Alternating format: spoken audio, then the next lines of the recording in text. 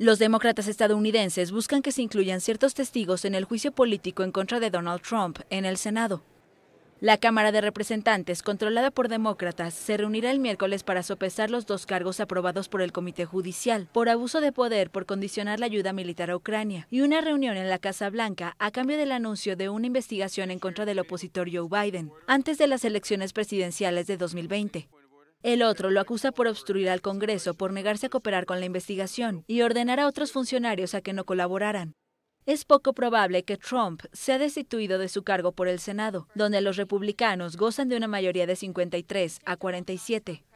El líder de la minoría demócrata en el Senado, Chuck Schumer, dijo que tiene como objetivo que el juicio político comience el 6 de enero y ha presionado con que cuatro personas clave testifiquen, incluido el jefe del gabinete interino de la Casa Blanca, Mick Mulvaney, y el ex asesor de seguridad nacional de Trump, John Bolton. No he visto un solo argumento bueno sobre por qué estas personas no deben testificar o estos documentos sean producidos. El presidente tiene algo que esconder y sus seguidores quieren mantener esa información oculta.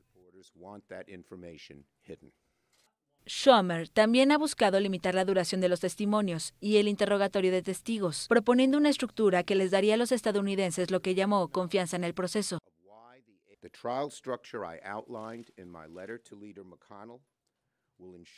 La estructura del juicio que describí en mi carta al líder McConnell se asegurará de que todos los hechos relevantes salgan sin acción dilatoria. Existe una gran tradición estadounidense de un juicio rápido y justo. Eso es justo lo que hemos propuesto aquí.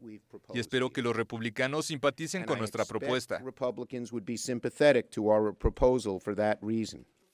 Las reglas del Senado sobre juicios políticos son determinadas por un voto de mayoría simple en la Cámara, aunque los demócratas buscan que sea por voto mayoritario. El presidente ha atacado repetidamente el proceso y a los demócratas que lo llevan a cabo.